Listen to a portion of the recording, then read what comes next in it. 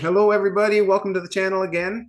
Uh, really excited to talk to Juliana Larson. Juliana is an early bird in the villages and uh, is here today to talk about her experience with the villages and her plans moving forward. So, welcome to the channel, Juliana.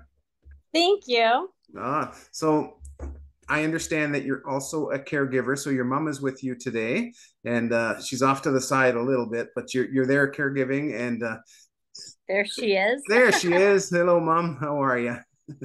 yeah, that's awesome. Great. And as well as caregiving for your mom, you're also a teacher. Yes. Where where are you a teacher?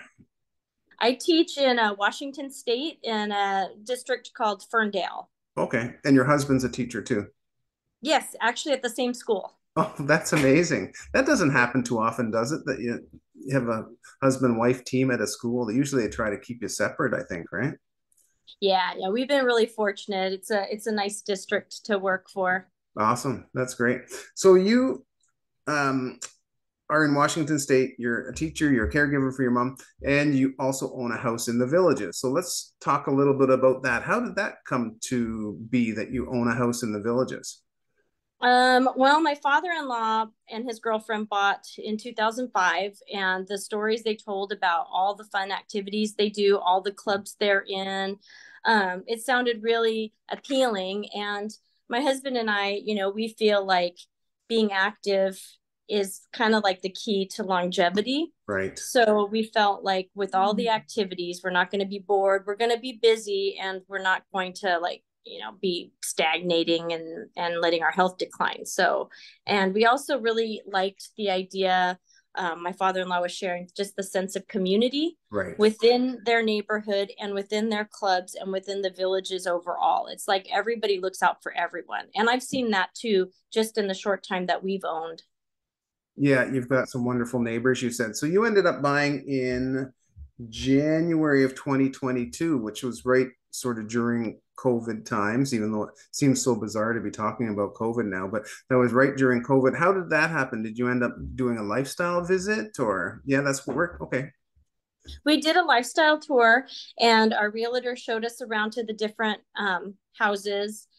Um, the, the tricky part though was like if we saw a house we liked, um, we had to jump on it right away otherwise we would like i don't know how many houses they showed us that um, fell through because somebody beat us to it. Right. And so we bought our house in the hammock at Fenney sight unseen. Wow. Um, our amazing realtor and his partner came and and took pictures of this of all these different houses that kept coming up and sending it to me. And i'm like yeah yeah i want that one. And so the partner she would put in um, a hold or whatever that is. Yeah. Mm-hmm. but the last one she had held for us, like she said, we lost it by three seconds. Oh my goodness. So the next one she found, the one we bought, um, she didn't send me pictures. She just put a hold on it. And then she sent me the pictures right away. She said, I have a three hour hold on this. I need to know, do you want this? And I'm like, yes. That's so, pretty nerve wracking, eh? When you got that three hour window to make a decision on a house. Yes, and it was during when I was teaching. So luckily I saw the text that she sent me like before school started. So I didn't have students. So I could say yes. And I ran upstairs to my husband's classroom and I said, okay, Nancy put a hold on a house. Uh, do you want to do it? And he's like, yeah, let's do it. So, but we were, um, I was out looking at open houses with my realtor in July of 2021 when we purchased, and we rolled up to a house that because we had lost out on this, you know, a number of houses just like you had. And we rolled up to this house and there were already like three other couples there. And our realtor put a hold on it before we walked in the door, just so that we could, you know, have a chance at getting the home at the time. Ah. Yes, yeah. Good, good realtor, good, good realtor move.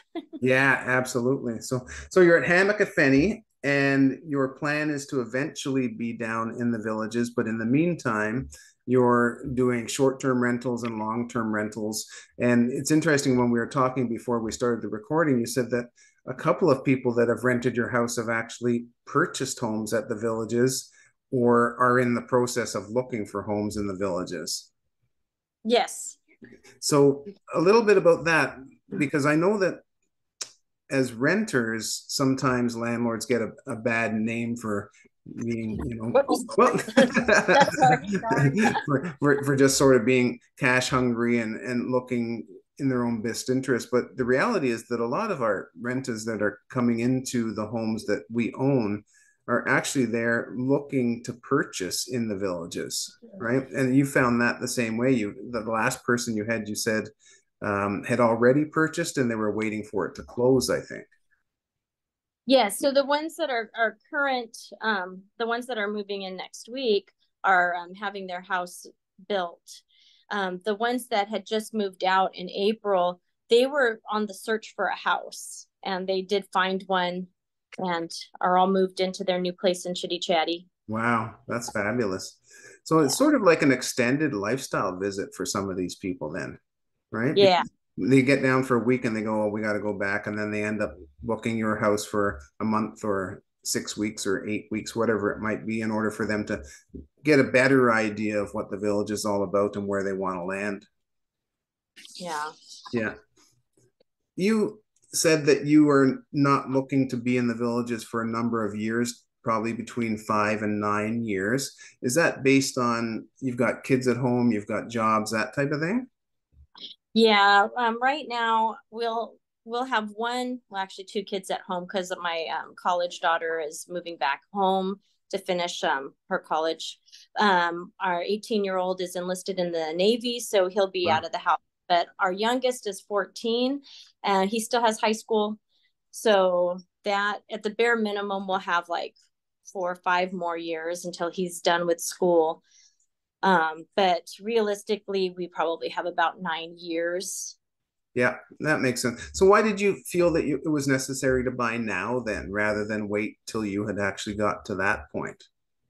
Well, we we made the decision to wait when we went out in our lifestyle tour back in the midst of COVID in 2020. There were some houses that were interesting to us, but at the time we thought, well, at the time our daughter was um, looking at colleges and we were deciding maybe we should wait and see what college tuition looks like and then buy. And as soon as we got back from our week long lifestyle tour i was looking at some of the houses and the prices had jumped quite a bit.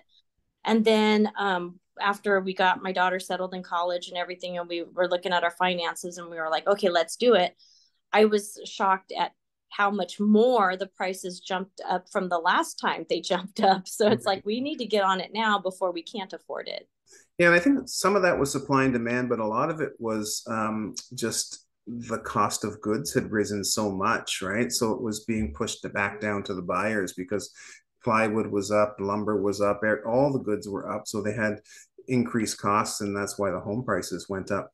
Um, one of the things I talk about with landlords all the time is that not to wait until you're retired to buy a house because your purchasing power is much better when you have a job. You can apply for a mortgage, you can apply for financing and get into the market. So it sounds like with you and your husband both working as teachers, the time was to purchase when you could show income and get a house and then rent it out until you're ready. Is that sort of the goal? Yes. Yeah yeah sounds that was the same with us. We you know we had both had jobs and we wanted to get into the florida market but we didn't want to wait until we had no income because then it's more difficult to purchase. So right now you're doing short-term rental long-term rental but in between like three and six months you're not doing full one year rentals at this time. No, and I found that um, a lot of the people looking for like year long rentals are looking for unfurnished and ours is fully furnished. And in hindsight you know maybe i would have just held off on on buying furniture and just offering it for um long term but you know live and learn. Yeah but, for sure. yeah but if i hadn't done if if i had done that then i wouldn't have been able to meet our um, fantastic tenants that had just bought in chitty chatty who are amazing and i feel like we made some friends yeah, and, and the other thing about doing shorter term rentals is that it gives you the opportunity to use the home when you want to. You can block off that time. Like you said, you're going down for Christmas to visit. If it was a long term rental, you wouldn't have that opportunity. Right. Right. So that's cool. So you got another five to nine years before you're down there full time. I bet you're looking forward to that. Oh, yes. Get out of the, the school system for both of you and actually start living a, a life that you want to live. Yeah, we got a little taste of it last summer when we drove down with the family. Um, just all the neighbors are so friendly and um, i took a couple well i took a, a, hula class that i loved and i'm looking forward to getting back to and playing poolside bingo there's just so many fun activities to do so i'm like excited about absolutely. you know all all play and no work yeah absolutely that's great cool well i really want to thank you for joining us today i know that it's important for me to sort of put some humanity into who a landlord is and and their goal is eventually to be uh, resident of the villages. So we thank you for coming on and sharing your story, and we wish you success in the next five, six, seven years. Thank you. Thanks for inviting me. Okay, take care. Thanks, you too.